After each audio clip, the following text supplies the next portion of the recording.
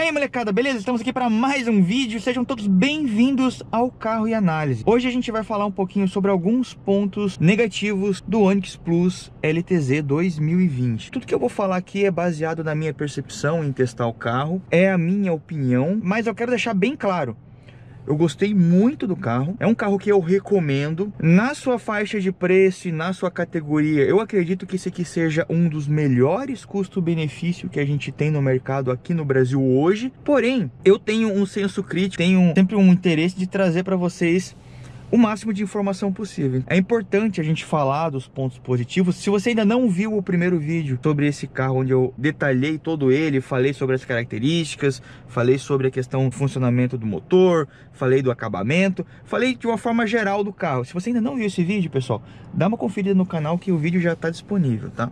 Mas hoje a gente vai falar um pouquinho sobre algumas coisas que eu não gostei nesse carro, e que de uma certa forma acabam né, manchando um pouco a imagem desse que é realmente um carro muito interessante.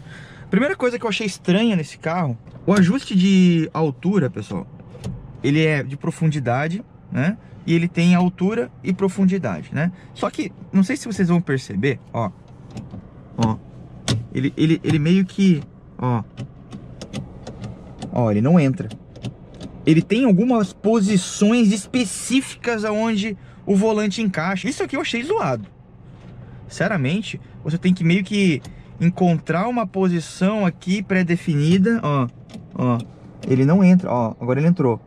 Aí ele até mexe ali a coluna de direção. Ó, agora ele entrou. Isso aqui eu achei estranho. Não é um, um defeito ou uma característica desse modelo.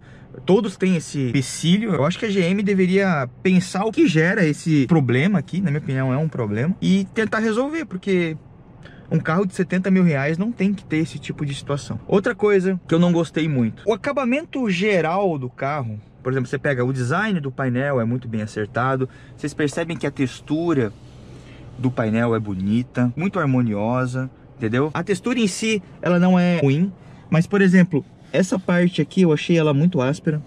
Eu já tinha falado isso em vídeo para você no primeiro vídeo, eu já tinha falado, principalmente para quem vai usar o braço aqui. Ah, você tem que usar o braço aqui. Não, mas tem gente que usa aqui. Eu, por exemplo, viajo assim, ó, viajo com um braço mais aberto.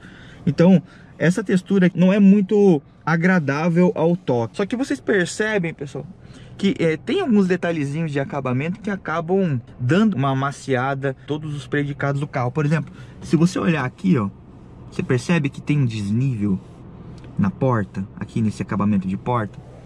Vocês percebem que vocês percebem que tem um desnível, por exemplo, lá, ó, a porta, o, o encaixe de, da, da moldura da porta tá bem alinhado.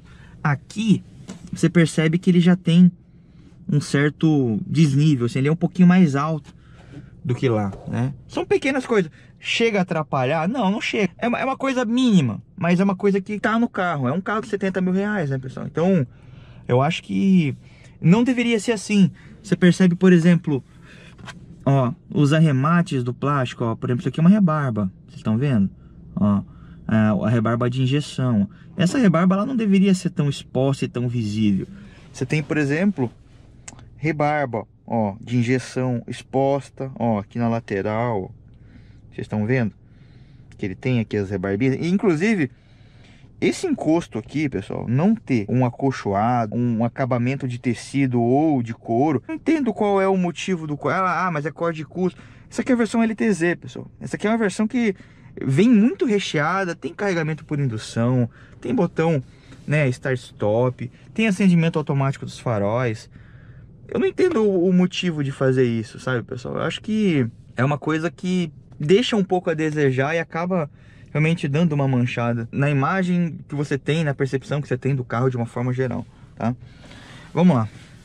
Outra coisa, vamos, vamos, vamos sair, vamos dar uma voltinha, pessoal. Eu tinha esquecido de falar pra vocês, ele tem a câmera de ré, tá, pessoal? Que eu gostei muito, inclusive eu achei melhor que a do Virtus, eu achei ela mais, mais ampla, né? E ele tem também o sensor de estacionamento traseiro, ele não tem os sensores dianteiro. A versão que tem o sensor dianteiro é o modelo que tem o Park Assist, que tem o assistente de estacionamento, tá? Esse aqui só tem o sensor, ele tem a, a indicação sonora e tem a câmera de ré, tá? Isso eu achei bem interessante. Outra coisa, que inclusive era uma crítica que eu fazia, por exemplo, ao meu antigo Fiesta, que eu tive um Fiesta Titânio 2014, eu fiquei com ele 5 anos. Foi o carro que eu troquei quando eu comprei a T-Cross. Né? É, ele tem acendimento automático dos faróis, só que ele não tem DRL lá na frente. Então quando você está andando durante o dia na estrada, a gente sabe que a legislação diz que você tem que ter uma iluminação frontal acesa. Você tem que estar tá com o farol aceso ou com as DRLs. Uma coisa acaba inutilizando a outra, principalmente quando você está usando o carro durante o dia. É uma coisa incômoda, porque você tem um acendimento automático dos faróis e você tem que ficar ligando o farol quando você vai para a estrada. Eu acho que eles deveriam tirar o farol de neblina, que esse carro tem farol de neblina, e colocar DRL para todos os carros. Porque, pelo menos para todos os carros que tem o acendimento automático dos faróis. O acendimento do automático dos faróis, ele deveria ser vinculado ao DRL. Entendeu? Se você tem acendimento dos faróis, DRL. Porque aí você consegue deixar ele no alto e usar o carro normalmente. Aqui, por exemplo, se eu pegar a estrada e pegar um, uma blitz ou pegar, sei lá, uma polícia rodoviária, ele vai olhar o carro sem o farol aceso e vai me dar uma multa. Então eu perco, de uma certa forma, a praticidade do acendimento automático dos faróis. Isso eu achei uma coisa que não me agradou. Uma outra coisa que é importante falar, eu já falei no primeiro vídeo, mas eu volto a falar aqui, é em relação ao conforto dos bancos, principalmente dos bancos dianteiros, tá, pessoal? Aqui eu sinceramente acho que a GM ela pisou um pouco na bola, tá? Porque é um carro bonito, é um carro tecnológico, é um carro que tem um conjunto mecânico muito foda. Você pega, ó, você pega aqui, ó, ó. O carro anda bem, pessoal, ó. O carro tem um desempenho absurdo. O carro é sentadinho no chão. O carro, sabe, ele tem tudo o que você espera de um carro dessa categoria aqui. Ele é um carro a, a, a sensação de estar dentro dele é gostosa. Via, viajar com esse carro é muito bacana porque ele tem um desempenho bom, as trocas de marcha bem escalonadas. Então, ele é um carro divertido de você andar com ele na cidade, principalmente na estrada, em, em situações onde você pega trechos de serra, trechos mais sinuosos. Pessoal, é uma delícia andar com esse carro. E aí, o banco desse carro, ele é duro, pessoal. É um banco que tem a espuma dura, é um banco que tem uma estrutura fina, não casa muito com o carro, sabe? Eu acho que eles deveriam, talvez para 2021, tentar pensar numa melhora na qualidade desses bancos aqui. E também nessa questão aqui da ergonomia do encosto de braço, né? Como eu falei para vocês, ó, pra mim, ó, eu tô aqui andando com o carro normalmente, né? Deixa eu pegar uma parte mais plana, vocês vão ver. Ó, se eu quiser andar aqui viajando, eu tô viajando, eu tô aqui, eu não consigo encostar o braço, eu tenho que botar o braço para trás. E aí se eu for andar com o braço para trás, o encosto de braço um pouco que perde a função. É, é uma coisa que, por exemplo, a Jeep Renegade. A Jeep Renegade tem um encosto de braço mais ou menos do mesmo tamanho desse aqui. Inclusive, quando ele tá no, na posição original, ele também fica na mesma posição, ele fica mais recuado para você poder puxar o freio de mão e tudo mais. Eu acho até interessante ele ser mais recuado, que você tem a possibilidade de recuar ele. Só que ele não vem para frente. Ele deveria vir para frente. Ele deveria vir para frente que aí você consegue aqui, ó. Tô aqui na estrada viajando. Você não consegue encostar. Ó, pessoal.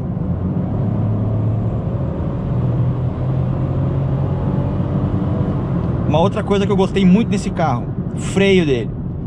Esse carro aqui ancora, tá, pessoal?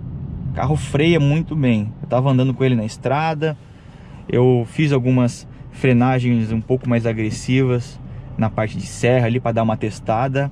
Controle de tração e estabilidade desse carro atuam muito bem, deixa o carro muito na mão. O comportamento dele muito bacana, tá, pessoal? Outra coisa, que eu inclusive uma errata que eu quero fazer em relação ao vídeo anterior.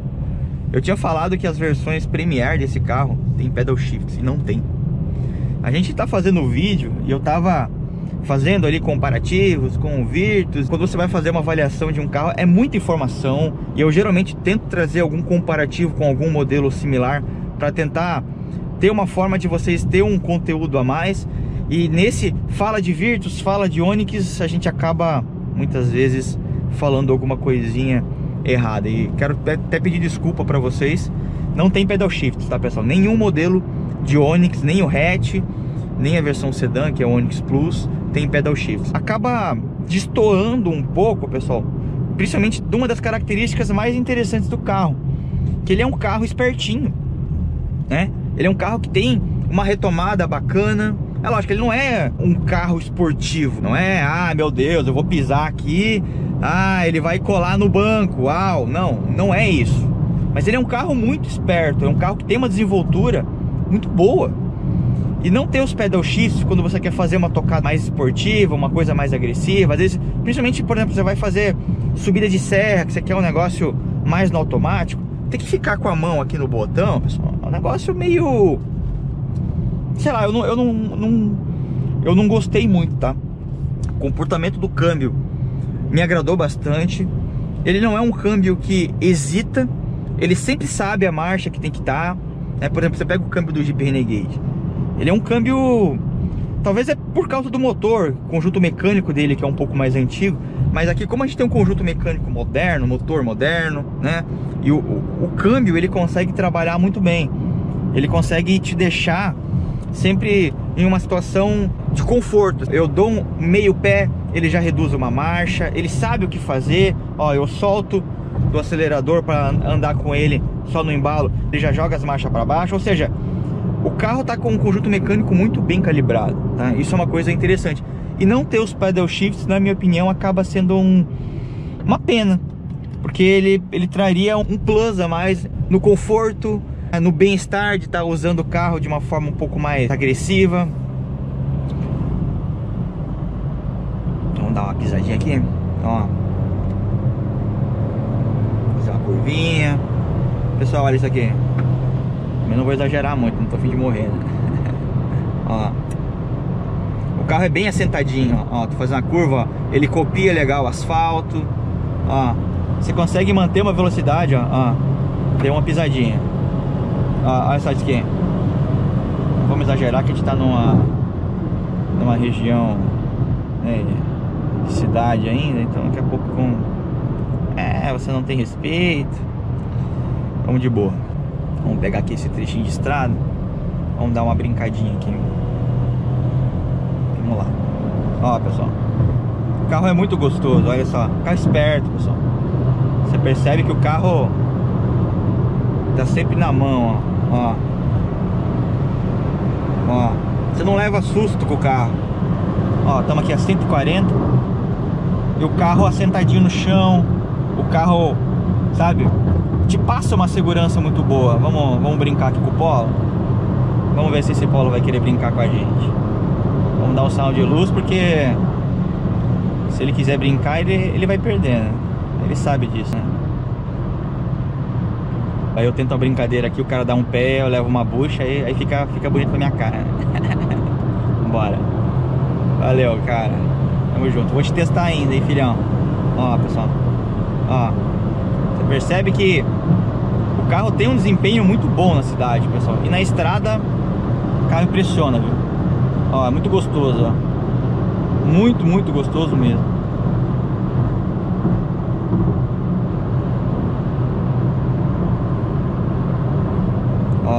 Tá vendo? Ó, o carro sobe muito o giro. Ó, 160. Olha isso aqui. Olha isso aqui, pessoal. Estão vendo? O carro é muito gostoso. Também não vamos brincar muito, que sempre tem uns as manutenção de pista aqui, daqui a pouco para o trânsito, quando você vê, você faz uma cagada monstruosa. Então vamos, vamos de boa. Então, vocês perceberam como que o carro é, é, esperto, pessoal, na estrada? E eu não tô, não tô forçando, pessoal. O carro não tá se esgoelando, o carro vai suave. O ruído interno, eu não tô escutando o barulho do motor. Eu escuto mais o ruído do vento ao redor, batendo pelo carro, do que o ruído do motor. É um carro muito silencioso, um carro realmente que nesse quesito aqui me agradou bastante, tá? Ele tem a abertura da chave por presença dos dois lados, tá? O HB20, por exemplo, com a a chave presencial, ele tem o, o botãozinho no meio da fechadura só do lado esquerdo, o lado direito não tem. Lembrando, todas essas características, todos esses, de uma certa forma, pontos negativos que eu tô trazendo aqui, em nada diminuem todo o conjunto do carro, toda a qualidade do carro, sabe? Com o carro seguro, é um carro com seis airbags, controle de tração, controle de estabilidade. Esse conjunto mecânico estou mostrando aqui para vocês. Vocês percebem que é fantástico, né? Carro forte, carro com uma retomada gostosa. É um carro que não é aquele carro amarrado, pessoal. É aquele carro, sabe? Ele, ele, ele, ele, é espertinho, sabe? Não te deixa na mão na hora que você precisa. Você vai fazer uma ultrapassagem numa rodovia, precisa ultrapassar um caminhão, ou uma fila de carros, às vezes você tá na viagem, tá, tá com um pouco mais de pressa. Ele é um carro que você vai dar o pé, não vai te decepcionar. Entendeu? Mas, como nada é perfeito, eu acho que é importante a gente ter um senso crítico. Eu trago para vocês, pessoal, esses vídeos falando sobre pontos negativos dos carros porque é importante a gente ter esse senso crítico. Nenhum produto, pessoal, é perfeito. E a gente sempre pode melhorar um produto. Talvez, sei lá, uma, uma GM assista esse vídeo e fala, é, realmente, a porta deveria ter um botão. Talvez ela saiba que deveria ter um botão, né? Mas muitas vezes vendo os clientes comentando, inclusive, deixa nos comentários o que, que você achou do carro. Deixa nos comentários o que, que você acha dos pontos negativos, do, do, se, aqui, se isso importa para você ou não, se você acha que tem algum outro, se você tem esse Onix, pessoal, que muitas vezes a pessoa comprou o carro e ela assiste vídeos na internet sobre o carro. Se você tem um Onix e você tem alguma outra crítica a fazer ao carro, talvez você que está andando com o carro há mais tempo, eu tô com o carro dois dias. Deixa nos comentários aí, pessoal. Eu acho que é importante essa troca de informação. Esqueçam, pessoal, de se inscrever no canal se você gostou do conteúdo. Se você não gostou, achou que alguma coisa não ficou bacana, sei lá, falei groselha, Deixa o dislike, também é importante para a gente saber se a gente está no caminho certo. E não esqueçam dos comentários, pessoal. Deixa o teu comentário, deixa a sua opinião, o que, que você acha. Não esqueçam também do nosso Insta do Carro e Análise, que é arroba Carro e. E se você quiser mandar uma mensagem de zap, uma dúvida, ou quiser mandar um áudio, alguma coisa, o WhatsApp do Carro e Análise está passando aí na tela, pessoal. Meu muito obrigado, Mendigo falando, já era. Falou. GoPro, parar de gravar.